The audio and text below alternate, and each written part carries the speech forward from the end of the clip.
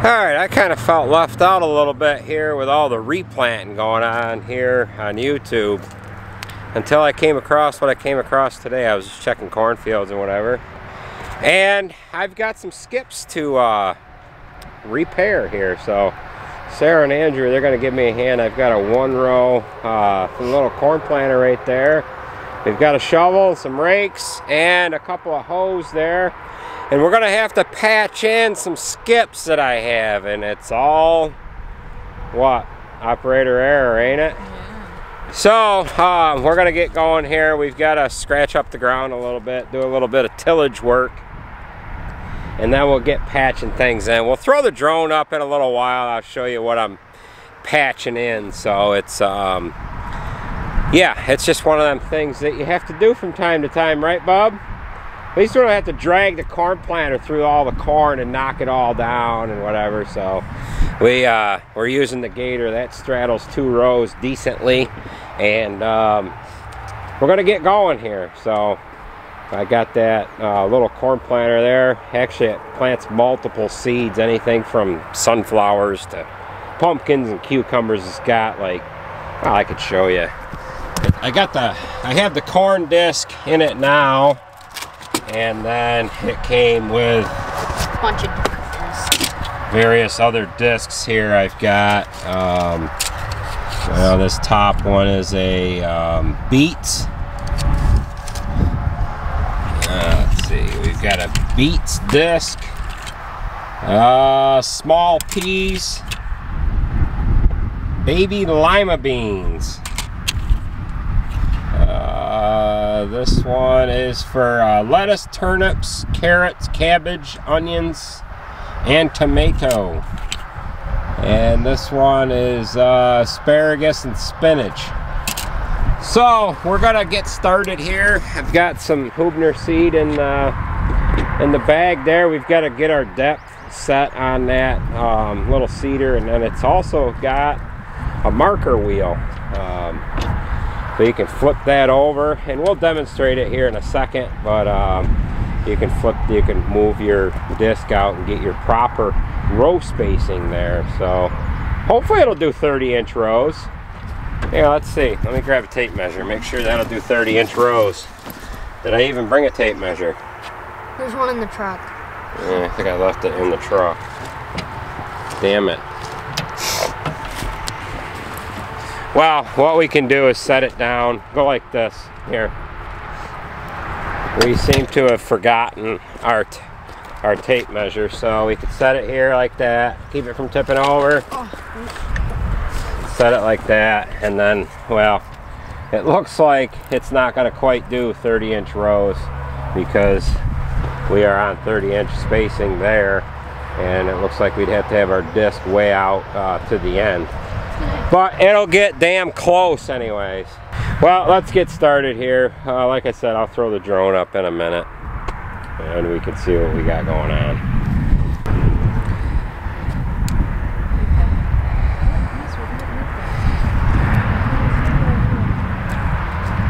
All right, we're right in the particular part of the field where we have some skips. Now, I'm just gonna kind of pan around here uh, you might be able to tell uh, the areas that need to be patched in here, but once we put the drone up in the air, you'll get more of an idea of what we have going on. So we've got a little bit of a operator error here, if you will. So, um, but we're gonna fix it. It's gonna be all right. It's um, it's kind of all right the way it is, but um, we're just gonna patch it all in so it looks real nice. So this little one row uh, planter that I've got here that we're gonna patch things in with, it's actually got the uh, markings on the, the depth that you can set the seed in. I've got it set at a little more than an inch and a half. It's between an inch and a half and inch and five eighths. So roughly, or an inch and three quarter rather. So roughly about an inch and five eighths. Uh, we planted all our corn at two inches, but um, being that we're a couple weeks behind here, we need this corn to catch up to um, the current growth of this corn here. Now, um, where we're planting this, if it was if it was like inside. Um, it, it's going to be outside of the other rows, so it should catch up. It's just going to be a little behind. It's going to probably be dwarfed because of the canopy of the the corn that's already existing here. Um, but we're just going to see how it goes. Um, I'm, I'm a little late here getting in the, in the replanting this. You know, we're at about eight inches uh, with this corn. I think it was two weeks ago today or three weeks ago today that I planted this. So let's dump some seed in.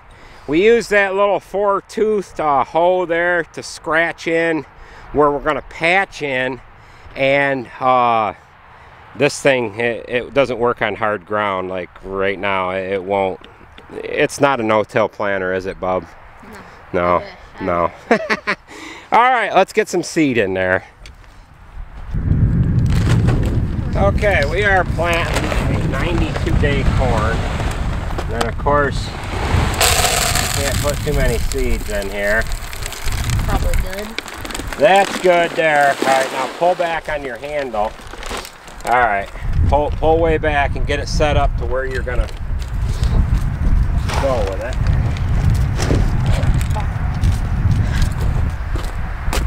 Here, lift it up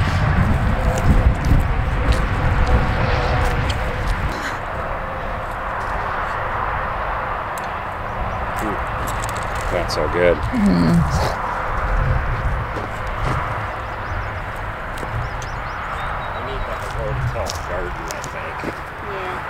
Either that or we pull it.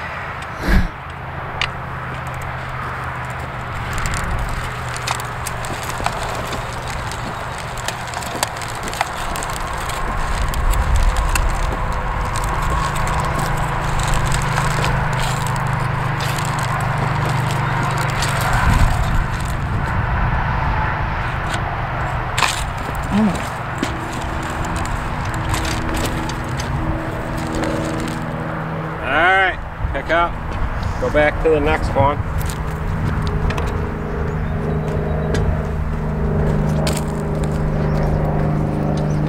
Where is the next one? You did? Did you do that one? The short one?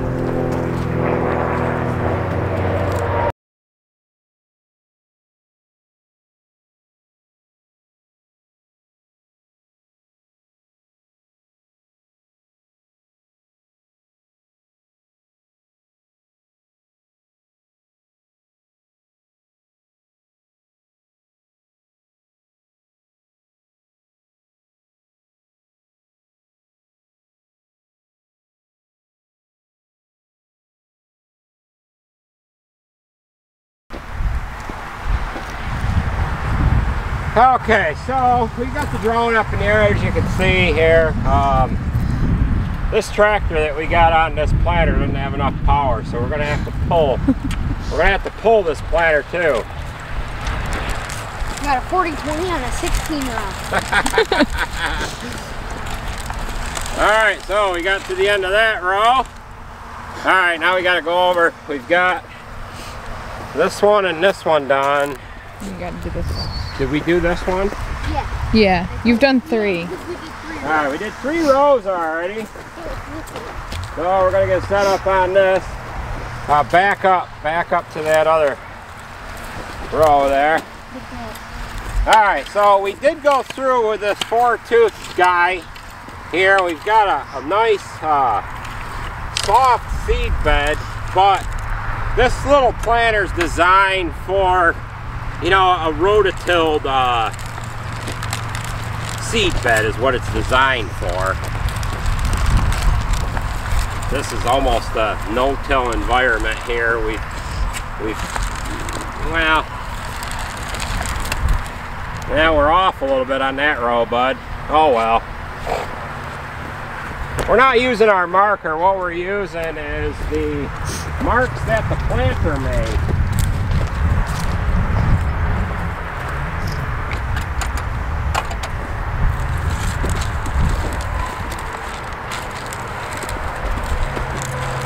Yeah, make sure you keep that front down. Okay, that's it for that one. All right.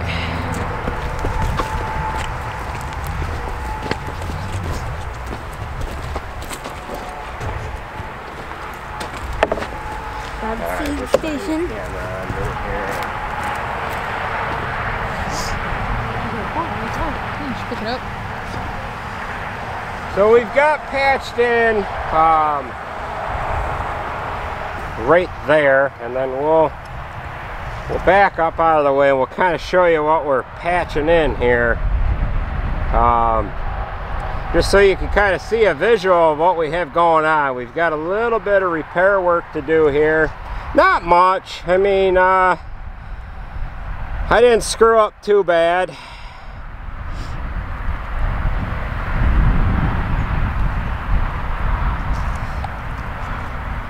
Whoops. So we'll just kind of fly down the line here. So we've got a little repair work to do where we're at. And then uh, right next to uh, what we have there. So um, yeah. So we're going to continue doing what we have to do here and um, get on out of here.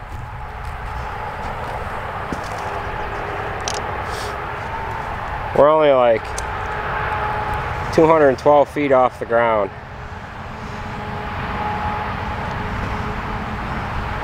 I don't even see it, you? Oh, there it is right there.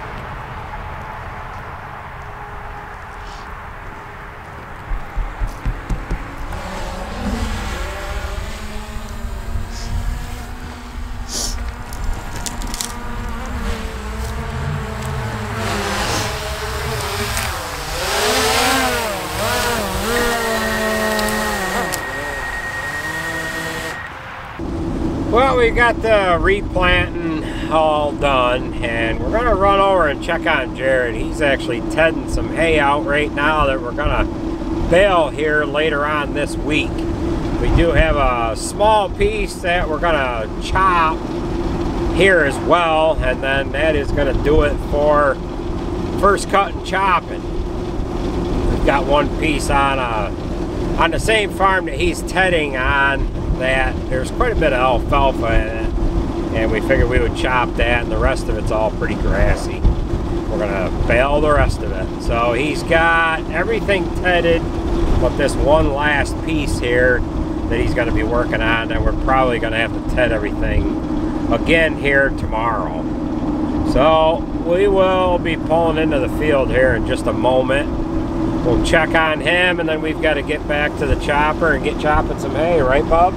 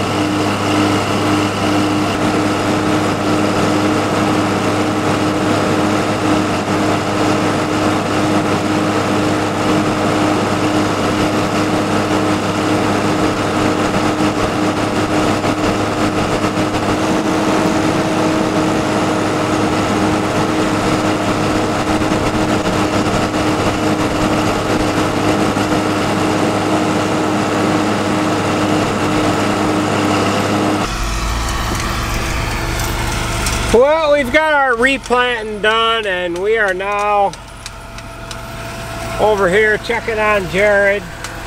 He's tedding some hay out that we're gonna bale here sometime this week. We actually got on top we're gonna chop. So this is a heli sucker here. Usually takes us about three hours to chop this. Real steep over there. Now the camera doesn't really do it any justice here, but this is rolling hills.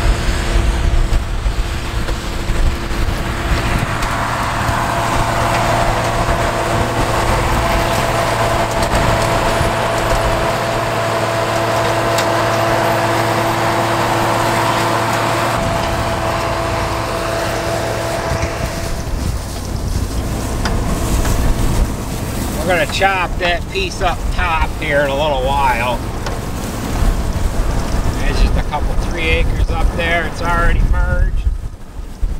We're gonna head on home now and grab the chopper.